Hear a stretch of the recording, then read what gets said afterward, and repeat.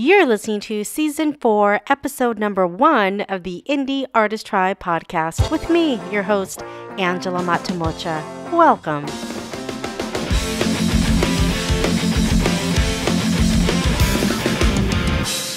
Hi there, good people. Hi, hi, hi.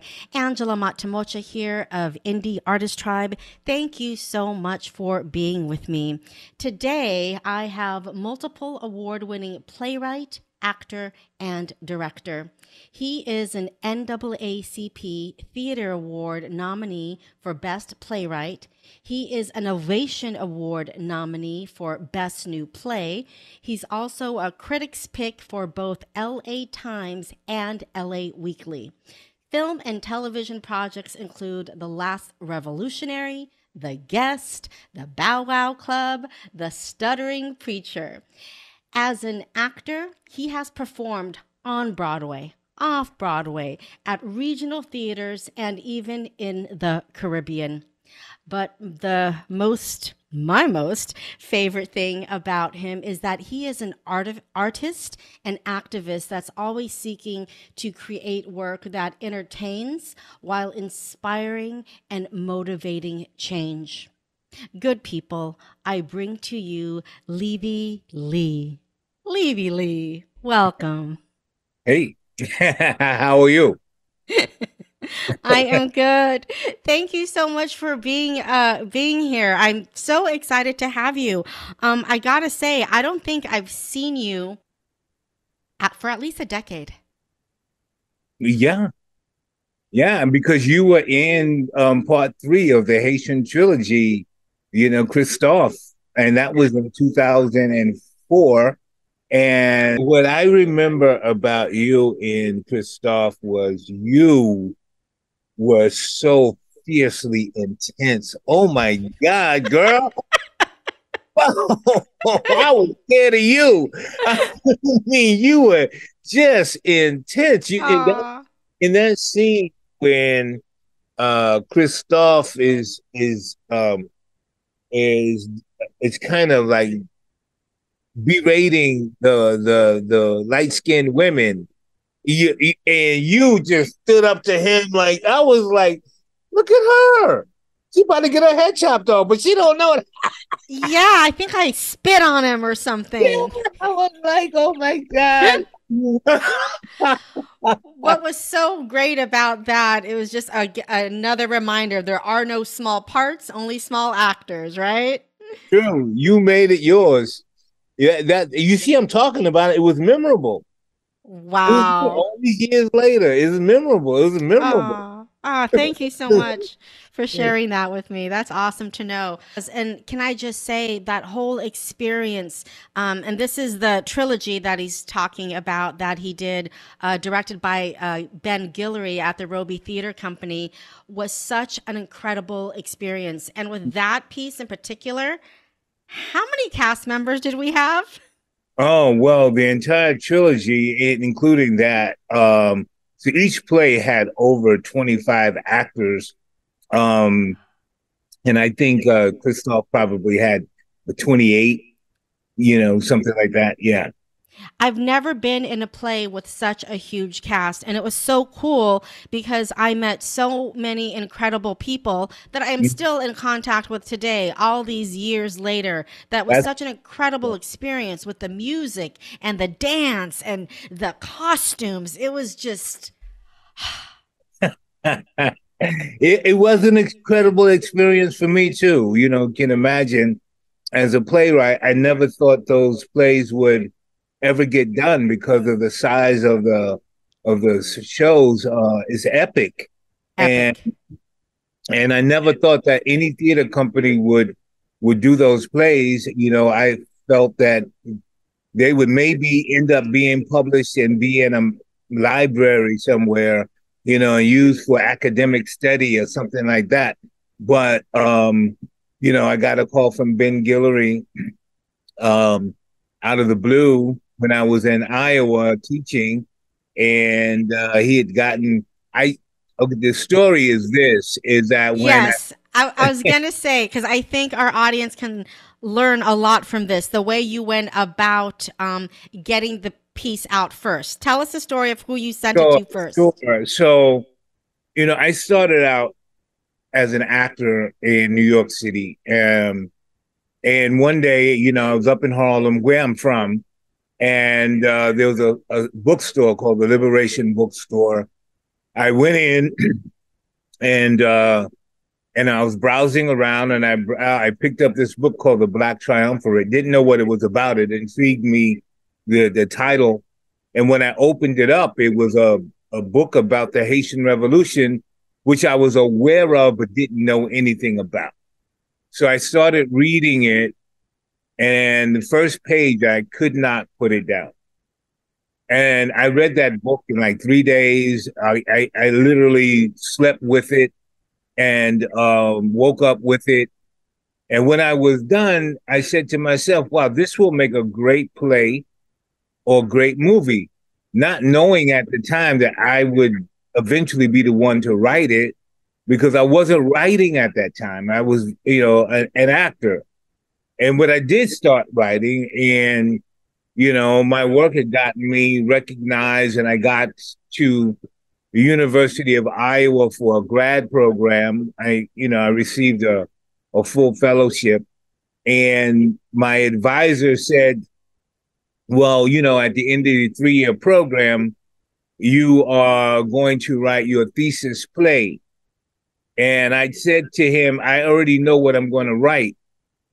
And he said, Well, what's that, Lee? I said, I am going to write a, a, a trilogy about the Haitian Revolution and he he his mind was blown. He said, "Well, that's a, you know, that that's a heavy task." And yeah. I was like, "Yeah, but I'm I'm I'm up for it because after I read that one book, which was like at least ten years before going to grad school, and after I read that one book." I, you know, periodically I would go to the Schomburg Library or I would go downtown to the 42nd Street Main Library in New York City, and I would just sitting there all day doing research, not knowing that I was doing research. I was just so in in passionate about the history that I want I want to read it, you know, and uh, was better than going to the movies sometimes, you know, and and I would read the the story about us, about black people, and how we liberated ourselves from slavery, you know, through a violent revolution, and a story that has never been told on a wide scale um, and I was just wow. And so my mission became to write this play, these plays about three of the greatest, well, three of the greatest men and some of the women that that were, I think, the greatest men to walk the face of the planet, you know, and yeah. So so I wrote it and then it was like, okay, then what? And then when I shared it with my um the academics and scholars at a University of Iowa, they said, Lee, this is going to get produced. And I thought they were blowing smoke. You know, I was like, yeah, okay, you're being very kind to me, blah, blah, blah. So one day, you know, uh, I am sitting in my office. This is 2001, uh, like February. And uh, I was having um, office hours with students. And the last student just left. And I was about to go home. And the phone rang. And you know that moment is like I looked at that phone and I, like, I didn't want to take a phone call. I thought it was another student, and I didn't want to engage that. I was tired. I was ready to go home and relax. End of your day. To my day, you know. And I looked at that phone and I, uh, and so I, I I picked it up. Fate would have it. And on the other end, there was this voice, and this man said, Levy Lee Simon, this is Ben Guillory from the Robey Theater Company. And I said, Yeah. And he says, I received your play uh, the uh, For the Love of Freedom, Toussaint. I said, Yeah. He said, We would like to do your play. Do we have permission to do your play? And I'm like, are you again? and, and, then he said, he said, well, someone would like to talk to you. And another voice got on the line. Said, hey man, love this play, man. This play, we've been looking for a play like this for seven, 11 years, man. And it was Danny Glover. And I'm like, I'm okay, so who's playing a trick? Danny Glover. I'm talking to Danny Glover right now.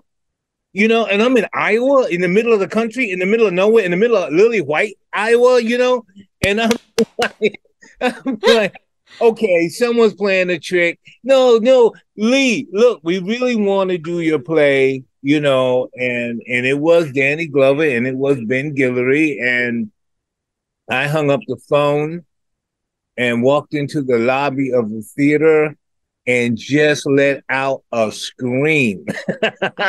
and everyone came in and well, I was just talking to Danny Glover on the scene and they want to do my play. oh my gosh. Yeah, so that's how that's how it all started. What a story.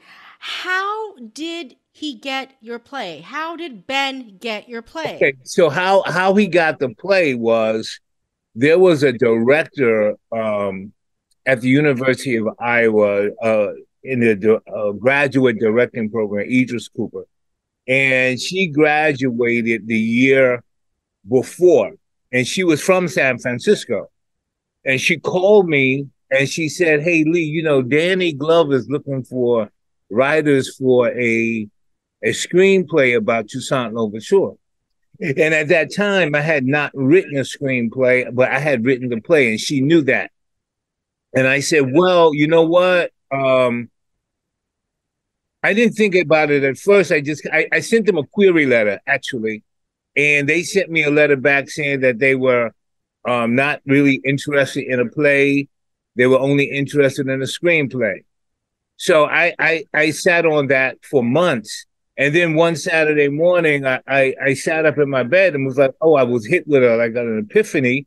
I said, oh, you know, I should send them the play anyway, because they need to know that someone has done the research and knows the history and knows the characters and, you know, all of that, know who was involved.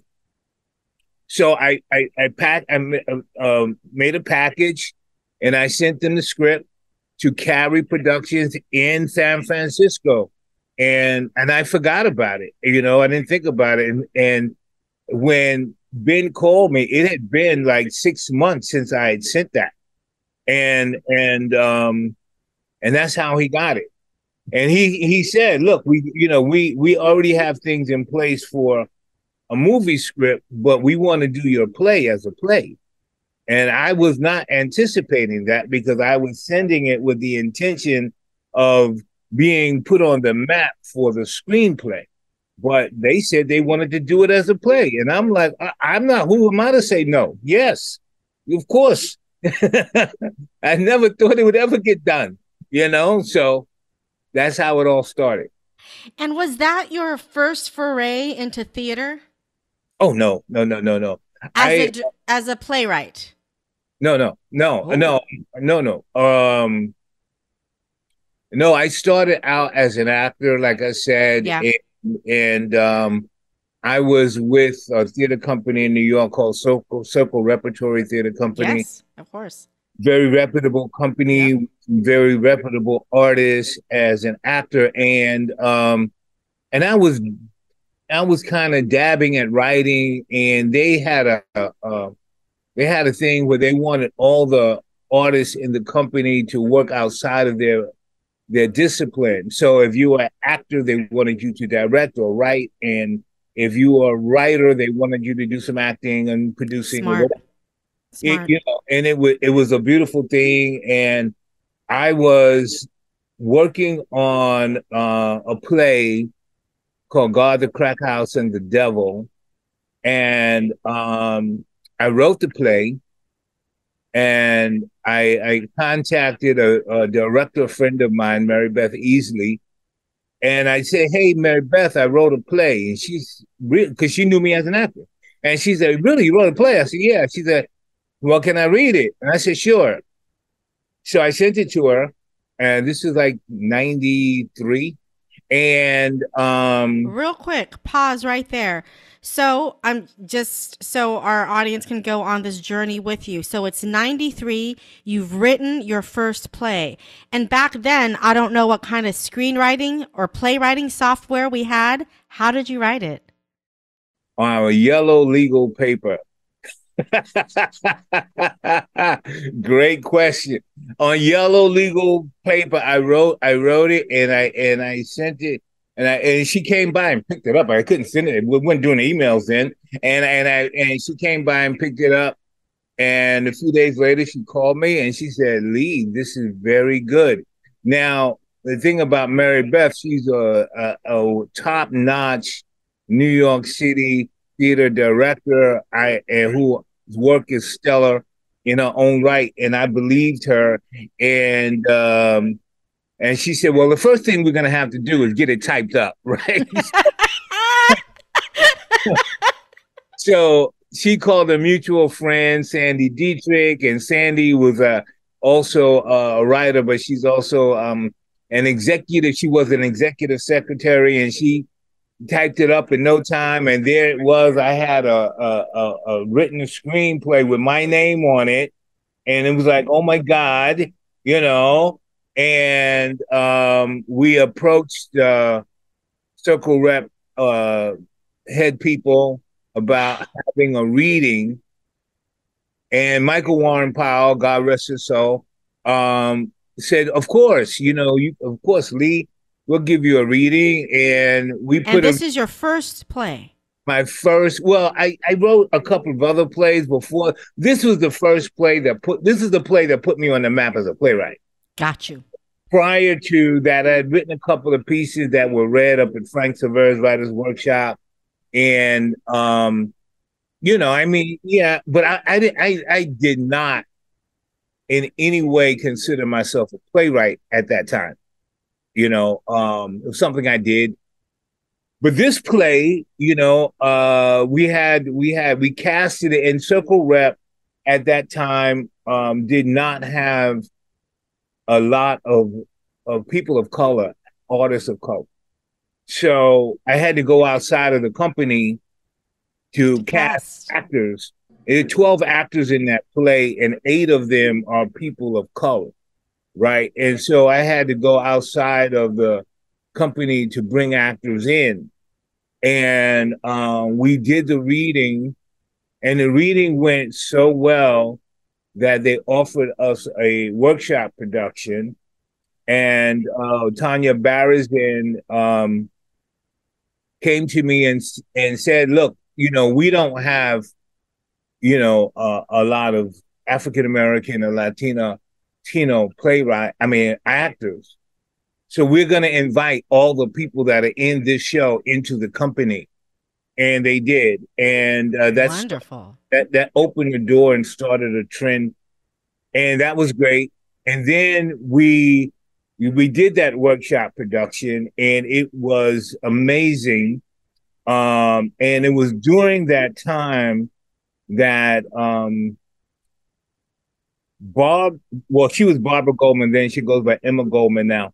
But Barbara Goldman, who was a writer and but she she loved to play and she you know we were good friends and she wanted to work on the production so she was working on the production doing props or whatever she was doing and and i came into the green room one night and everyone was kind of giving her a toast because she had gotten accepted to the university of iowa playwrights workshop which i knew nothing about.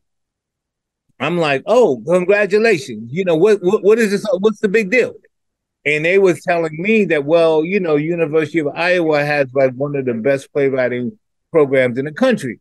And, oh well that's cool. I said well barbara good luck to you. You know watch out for the cows. You know don't eat too much pork. Don't drink too much milk you know. And and boom off she went. A year later uh, i'm coming back i was doing a play at um, Cincinnati Playhouse in the Park. I was doing Miss Evers' Boys, Oh wow! And, and we had just finished a, that production, and I was just getting back to New York City. I was living downtown in the East Village, and I was walking into my apartment, and the the phone was ringing. And again, one of those moments. Now, this time I wanted to pick up the phone. I'm just getting home. I got my bags. I'm coming into my apartment. The phone is ringing. I got to get the phone, right? So I get the phone, pick it up, and it's Barbara. And she said, Hey, Lee, what's going on? I said, Hey, man, I'm just getting back from Cincinnati. And she said, I said, What's up? She said, Well, she's I'm here in Iowa, and I want to tell you that um, they are offering fellowships for playwrights of color.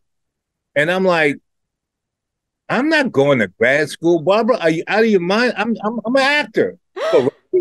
what are you talking about? And she was like, Well, I gave them your play, God, the Crack House, and the Devil, because she had a copy of it. Oh right? And she said, I gave them your play, and uh, I told them all about you, and blah blah blah. And I'm like, Barbara, I'm not interested. And actually, the play that I had done in Cincinnati was supposed to be going to uh, London for a production in London, right? And I said, I'm getting ready to go to London. I am not. Yeah, right. That was like uh, December of uh, 95. Okay. So when I, when I, well, yeah, and we were supposed to be going to London in 96, like February, March of 96. Well, it fell through. Ah. We weren't going on anymore. And not only that, Barbara being Barbara, she sent the application anyway. Oh I got gosh. the application in the mail. It's sitting on on my kitchen table collecting chicken grease. And and I'm like, and then I started, you know, side eye looking at this application, you know, because, you know, you as an actor, uh, how many times do you get these situations where you get your hopes up about a production or a play, and then all of a sudden it goes away, right? And and and this had happened before. Here it was again, and now I'm looking at this application. But well, maybe, maybe eh, I don't know, maybe, right? But that's like, like I said, February, you know, and and now months have passed. It's the summer. It's July of 96. And um, I'm in New York. Um, it was hot. And my manager uh, called me and asked if I wanted to take a ride to the uh, Eugene O'Neill Playwrights Festival in Connecticut. This is a Friday night. And I said, sure. And so on the ride up there, um, I asked him whose play was being read, and he said Lee Blessing. Now, Lee Blessing, you know, the famous playwright. Yes. That plays on Broadway and all that, was going to head the playwriting department at the University of Iowa. Oh wow. Who who knew, right? So not only that, and this, and this is how things align in my life. I'm sitting there in the theater watching this beautiful play, going to St. Ives with uh, had the late great Novella Nelson was in it. It was a two hander, two character play, and and uh, and I'm watching this beautiful play. And intermission, the lights come up, and I'm sitting next to the lighting designer who was the lighting designer for Miss Evers Boys in Cincinnati. And we're talking, and I say, "Hey, man, I I I really need to meet this Lee Blessing guy." And he said, Come with me. He said, I designed this set. He said, Come with me. So we go out, and Lee is being surrounded by people, and he pushes through the crowd and he walks up to Lee and he said, Lee, meet Lee. And Lee, he said, Lee, Levy Lee, Levy Lee Simon. And I was like, What? Yeah. He says, Aren't you supposed to be coming to Iowa? oh my God. Uh uh and so I still was like, I didn't have an answer, but I I I invited him to see a reading of a play that they were doing a reading of Crack House in New York the following week. And he said, Look, you know what? I'm I gotta go back to LA. I, I don't know. And he came to that reading. And then afterwards he said, Look, if you still want to come to the University of Iowa, he said, um, I will do all the paperwork on my end, and all you have to do, all you have to do is get there. Wow. And I'm like, okay, uh, yeah, I think I'm hearing like this is Mm-hmm. talking, right? You know, and and literally what capped it was um just a few days before I was going to leave New York and go to Iowa. Um, I get a call um from um from the secretary at the University of Iowa, and she says, "Hey Lee, I want to let you know that Lee Blessing resigned." Oh. And I'm like, "Oh, what happened?" She, he had some personal stuff, you know. Oh.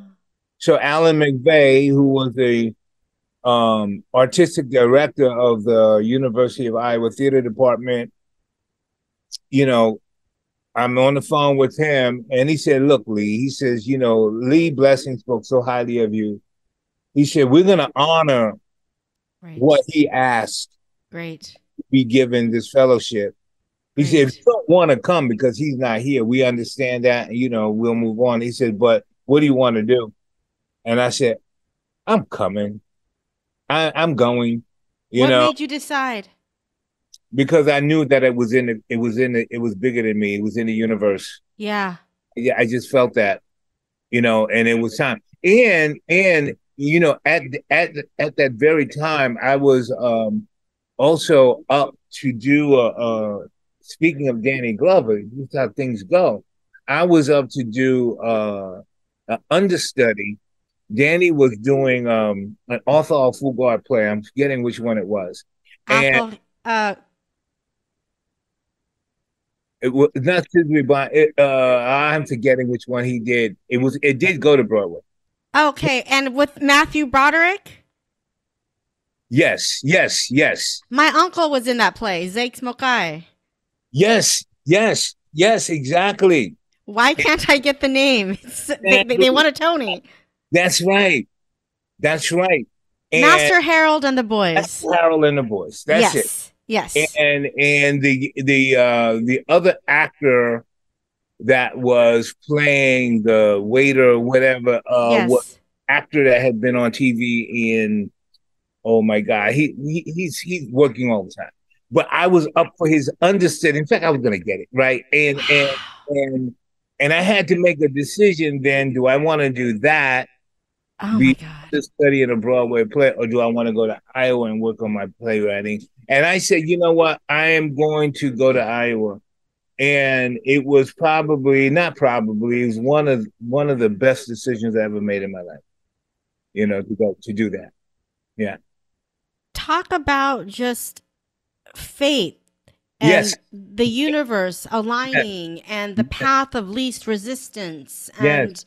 right yes gosh i love that. I love how things just sort of fell into place and you for the most part were open and just kind of said yes and okay. Uh, I mean, I fought, you know, but no, no lie, you know, if it, if it had been left up to me, I probably from the beginning. But but they keep they kept coming, you know, and and it was you like had people really that that truly believed in you. And that and that, you know, too, you know, it wasn't just it wasn't just my decision, you know, and and so uh I Yeah. could only imagine what that kind of support must have done to your confidence, your level of confidence at that time. Yes. Yes. I mean, I don't know if I thought about it in the moment, Mm. but I surely have thought about it in retrospect. I, I you know, I can see it clearer in retrospect. You know, in the moment, you in the moment, you know, you don't really. I mean, for me, I didn't really see it, you know, as clearly. Because so many I felt- writers, writers in particular, whether they're playwrights or screenwriters or even novelists, um, are so maybe insecure is not the right word, but they're not often sure of themselves. You know, like how do I know this is a good story? How do I know this is worth telling? You know, so to have the confidence, because I believe that's what it takes to put your work out there, and especially being so new at it as you were, that's just incredible. Yeah, uh, but confidence has never been my problem. well, there you go. Well, there you go.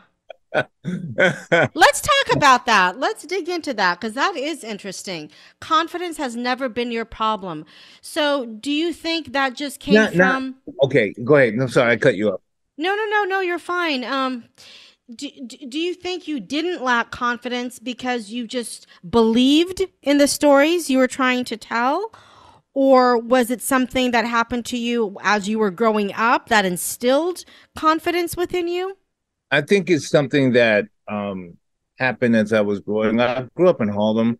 You know, um, there's a certain way that you have to be growing up in the inner city, in the hood, you know, and I think that plus I was an athlete and, okay. and uh, you know, so I had to have confidence in myself, you know, to compete you know, on a, on a high level. I played football, I ran track, I played, I, you know, you name it, I did it, and I did it pretty well, at least competitively, you know, and um, so you know, you you step out there, you have to have confidence, and that confidence carried over into my um into my normal personal life. You know, um, I'm not gonna say that I don't, I you know, I'm human and and and there's I didn't have to deal with insecurities and fear and all that stuff that you know most of us have to deal with. Of course, I did, you know, but I think that uh, overall, I kind of like tried to walk walk through it. Yeah, yeah. Now I didn't uh, grow up in Harlem, but I definitely uh, spent some time there. I lived there for Gosh, in my early 20s. Where were you in Harlem? What part? Well, I grew up on 115th Street between Manhattan and Morningside up until I was 12. And then from 12 until I left for college at 18, uh, I was in uh, 146 and Lenox Avenue. Okay. Now Gardens. I'm an EG boy. oh wow! I was uh, just off the the last stop on the train. I was on 149th and Adam Clayton. Yeah, that you took the three train. The three, you yeah, I was the last stop. three train, the last stop. Yeah. Yep. So yep. That that takes you to one block over to Seventh Avenue. I was on Lenox Avenue. Yeah, yeah, yeah. in a so Dunbar. Come out, Esplanade Gardens is right there. Yeah, and literally from the rooftop of my building, you could see Yankee Stadium. Yeah. Oh yeah. Yeah. Yeah. Yeah. Wow. Wow. Look at that. Small world. I loved. I, I loved living there. God. So let me ask you, what are you most excited about right now? Um, we you know, talked about your past and your beginnings as a playwright. What are you most looking forward to? What are you excited about right now? I'm just excited about the future. Mm. You know, about I'm not done. You know, I don't feel like I feel like sometimes like I'm just beginning. Um, and um, you know, I have a memoir coming out because I have lived some life, a little life. You know, that is, um, you know, we have a book launch here in LA, uh, December December first. Great. Me at the um, the Greenway Court Theater on, on Fairfax. Fairfax. Yes. And that's a Friday night, uh, seven o'clock for those anybody that wants to come is you is open to the public. Um, you know, it's going to be a great night uh, with some entertainment, and I'll be reading from my memoir. Great. Um, and uh, yeah, so it should be a very very fun. It's it's actually probably the most daunting and scary thing that I've ever done as an artist. What inspired you to write a memoir? my life. Listen, I my my my sister told me years ago. She says, "Honey, you just need to like stop everything you're doing and write your life story because your life story is crazy." and and my sister, who is an actress and and and a very good one, um, you know, she she's like, you know, we're thick as thieves, and, and she knows me, and um, and I, I, when she said that, I was like, hmm, maybe, maybe, maybe I do. Maybe I do need to write. You know, because I think that it could be um inspirational um to a lot of people. Absolutely. Absolutely. Wow. Now, I want to ask you about um, acting. hmm Do you still act? I do. You do. Yes. So, and you're also directing. I am a director. I, I, I claim I own that now. Okay. So I saw the last Revolutionary, and I'm curious why Mhm. did you not direct that? Okay, so the last revolutionary, um, Because you were in it, yes, you wrote it, but I also know you're a director, so I thought, interesting. but I, I'm not necessarily a film director Uh huh. yet, yet, and um, and it all was how that came about. So 2015, can't believe time has gone by so fast. Ooh, you know, um, we were invited to the National Black Theater Festival to do The Last Revolutionary. And while we were down there, um, there was Michael Brewer, who I did not know, Oh, wow. approached me. And after he saw the show, and he said, I think this would make a great movie. And I was like, Yeah, I've been thinking about that. And he said, Well, I have all the equipment. I have, you know, let's do it. And so we set out to make the movie with him as the director. And uh, we had to raise money, which we did through social media, Indiegogo, you know. okay. How'd you guys get um Marla Gibbs? he knew Marla uh, through Okay. somebody else, and and she she was beautiful. She was so so lovely. I mean, she didn't. Most of her stuff, oddly enough, didn't end up in the movie, and Oh. and, was, and she got there. Okay, how that happened was she she she came in late into the situation, and and I'll be honest with you, if I had known that I was going to be writing for Marla Gibbs, I would have altered the script to to suit her talent even more. Right. You know, to make her more of a. And I mean, there's room for that in in the in the story. Yes. It didn't happen, and and you know that was another. That was a lesson learned. You know, when it comes to making movies, that you know your decisions are final. It's not like you know, you're in theater and you're going to have another show the next night, or you have a long run and you can make changes in the run. You know, it's like once, you know, the camera goes, you know, and you go cut, it's done. You know, it's it's done. So, but um, I appreciated her. She, you know, she's a obviously a seasoned pro. She Yeah. was lovely to be around, and uh, yeah, and I, Marla, thank you. Yes, that was just so freaking cool to watch. So you guys did do like an Indiegogo. You did an online fundraising campaign for that film. Actually, we did Kickstarter, and Okay. I I fought for Indiegogo because we get like you know whatever you earn, you get. you get, yeah. you have to make a, a declaration, and if you don't get to that goal, you lose all that money. And one of my producers insisted on doing a Kickstarter, and I got tired fighting with her, so I I, I agreed, and I regretted it because there I was, you know, at the 15th hour, man, please, please, you know, please, you know, oh man, that that was the most stressful So stressful. situation that I have ever been in in association with the entertainment business. That was one stressful thing, and I promised myself I would never do it again. But I'm about to do it again. But any- but I'm not gonna do I'm not gonna do a Kickstarter though. No, no, I will never do Kickstarter. No.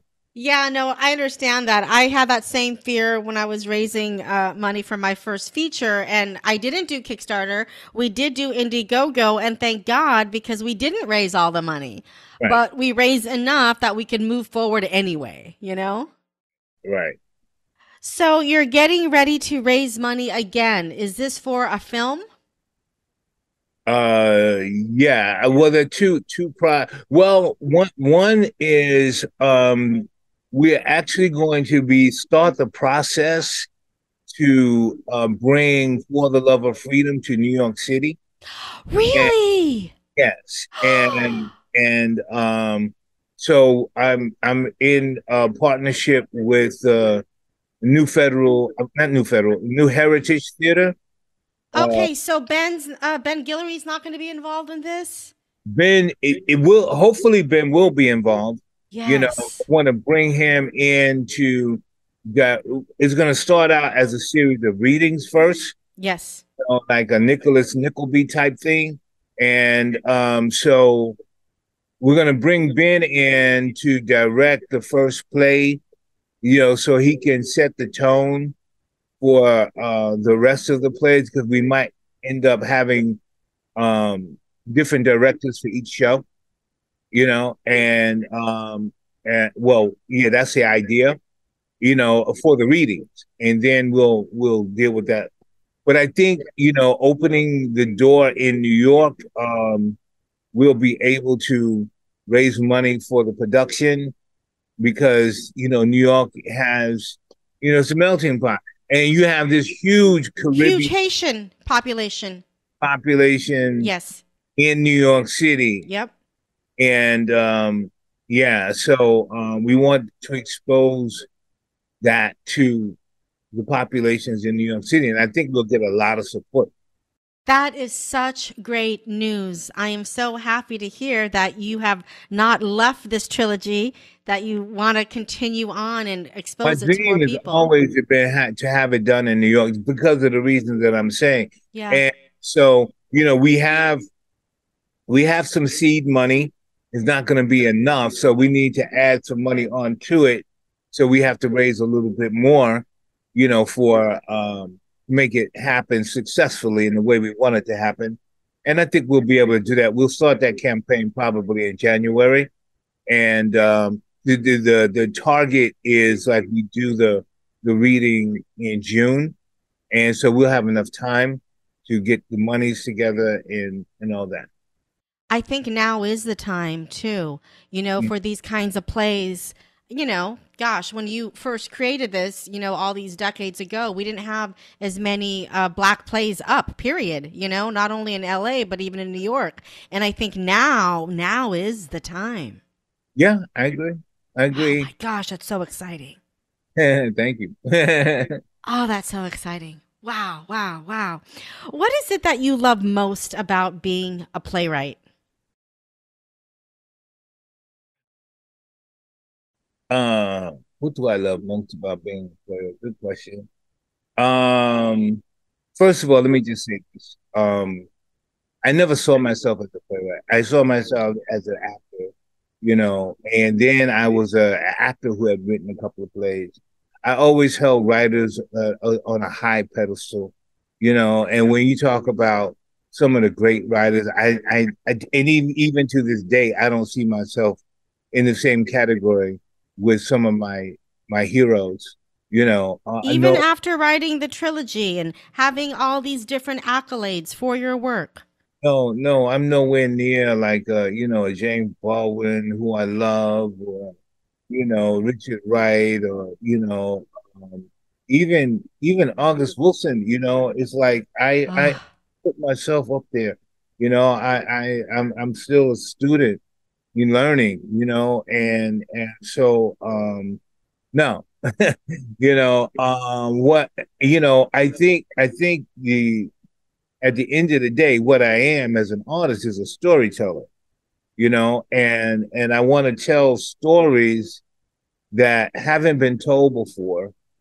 that people may be afraid to tell, maybe that people, certain people in our population in our community don't want us to know about, you know, and that has played out recently in our in our you know everyday lives, right? You know, and those people down there in Florida and all that, you know, and and uh I want to never, you know, hide anything, you know, um and if I'm the one that has to break the door down and tell those stories, then I'm gonna be that person. You know, that's what I want to do as an artist, you know, to be that storyteller that tells the untold stories. That's who I am. And I'm so glad you are because honestly, outside like my black history class in university, I had little knowledge about the Haitian revolt, about the slave revolt in Haiti, and what an incredible, inspiring story that we needed to know about. Yeah. It's for I guess I won't say playwright since you don't want to claim that title, but for other artists that are, you know, up and coming, want to put their work out into the world and never really have, what is your first sort of tip that you would give them j- j- just starting out? Whether they're an actor that wants to, you know, make a play or they're a uh, playwright that wants to make their first film, their first foray into something new, what would I don't know, some advice? Hmm. Well, okay. Well, I, I am a playwright. Don't get me. I didn't mean to say that I'm not a play. I am a playwright. I know you are, but I'm not on that. You know, I don't see myself. I you understand. Yeah, you, you, you got it right. I understand. So I I own I own being a playwright today. Good you know, and it's yeah, I do. Um, you know, as far as advice, you know, it's it's very it's very hard because you know, I don't know what calling someone may have or may not have, right? Ah. You know, I feel like this is a calling. It's a calling, yes. You know, and and I, you know, um for me is like I don't know if I chose it or it chose me. I think it chose me. You know, otherwise I don't know if I would have been doing this. You know what I'm saying? I do. And I recognize that it's a calling, and I recognize that it's uh uh you know I have a, a purpose on this planet to do what I do, and I have a passion to do what I do you know, um, through all the ups and downs and rounds and abouts, you know, is that this is this is who I am, you know, in this lifetime, right? And so, you know, but young artists, you know, I always say, you know, if it's your passion, yeah, go for it. Go for it. You know, if you're gonna be a writer, then write. You know, if you're gonna act, then act. You know, um, you know, I see so many people like wanting to, like, I mean, I know it's a struggle sometimes, you know, because you're like, yeah, there people that I got to pay my bills, I got to do this and I got to do that, and eh, you know, and all that. Yeah, but what what do you want to do? Who are you? you know, are you are you working for UPS or are you a writer? It's hard, you know. I mean, I know it is. I mean, when when I made a decision, I was working at um, I was working as a, a caseworker for the Bureau of Child Welfare in, in the Bronx, New York, and um, you know, I've been doing you know acting classes and you know doing readings around town and doing plays here and there, and working and then the opportunity came for me to like uh, do a show that was going to take me away from my nine to five job. And i had to go. Now there were people there on that job that looked at me like i was crazy. Are you going to leave your good job to go do what? Some acting oh my god you know you're crazy. Yeah but I never wanted there to be that day where I woke up and you know, and I'm 75 years old and I'm going, man, woulda, coulda, shoulda. What did I do with my life? Woulda, coulda, shoulda. Follow what I wanted to do. Mm. How miserable would I be? See, I'm not miserable now. No. You know what I'm saying? I am not, I don't live a miserable life. Uh, you know, I am not wealthy man or anything like that, but I'm happy. You know, because I have a purpose. You know? I feel like I know the answer to this question, but I'm going to ask anyway because I love asking people this. Do you believe that you were put on this planet at this specific time in history for a particular reason, or do you feel your being here is random? I, I I don't feel it's random. Um I don't feel that that's how I don't know what the powers that I don't know what anyone's religion or higher power, spiritual, whatever is for me, it's like I think there's a, a, a and, and there is an order to it all. You know, that's just my belief. You know, I don't want to really get into like a, a whole heady thing about spirituality because that's on a different subject line. You know, I mean, we we could do a whole podcast on that by itself, right? You know, because I I do feel that that at the end of the day, I'm a spiritual person, you know, and and um, I have strong beliefs in what I what I do believe in, you know, and um, for the record, it's not religion, right? You know, um, but it's it is it is God, it is you know, and and yeah. So do I feel that they I have, you know, a purpose here? Yes. Do I feel that it was you know, someone, I'll, I'll just put it this it's, it's very simple. Very simple. One of my more spiritual friends, older woman, said to me, she said, Lee, you are here by divine appointment only. Whoa. That's it. I love that. Say more. I love that. And I think that is one of the reasons that I like to ask artists this question. Um, you're saying, yes, that can definitely be a podcast all on its own. But I think they're intertwined, you know? Of Artists course. and yeah, yeah. Yeah, I, I'm just I'm just opening it up and saying that yes, I mean you can't talk to me without talking about it. You know what I'm saying? Exactly. It, that's part of who I am. And yes. that's that's without without a doubt you know but i also just saying that saying that i could like spend two hours talking yes. with you about that alone absolutely. I, you know just that. I could, t- I could talk to you about that. Yeah. Absolutely. Wow. You are just such a light and such an inspiration. Um I just want to acknowledge you for the incredible work that you have done, for the incredible work that you continue to do, and seriously for taking the time out to do all that research. I can't even imagine how much research you had to do for the trilogy. And I know it was a joy for you because you were just swept away by the story. And thank God you were because that trilogy, I mean, being in that play was one of the most incredible experiences in my life. So thank you.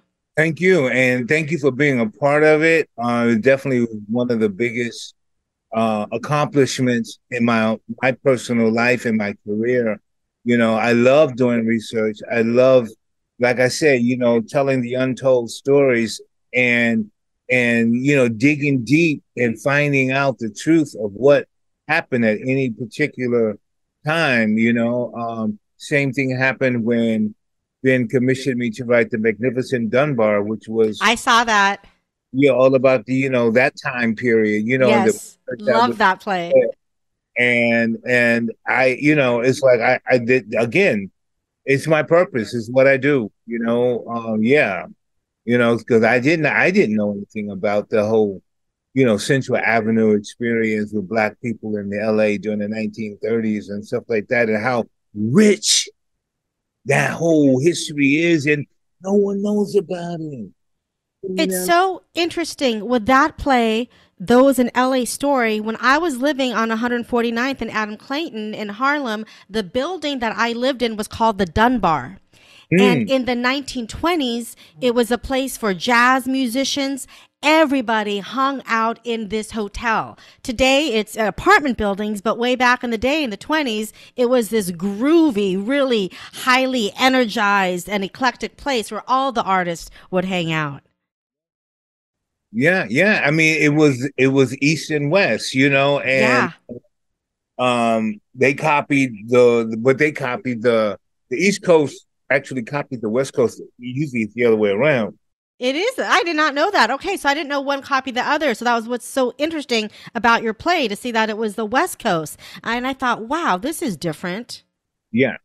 Yeah, yeah, you know, and then of course, you know, you had the whole thing, you know, with uh the Dunbar and the Cotton Club.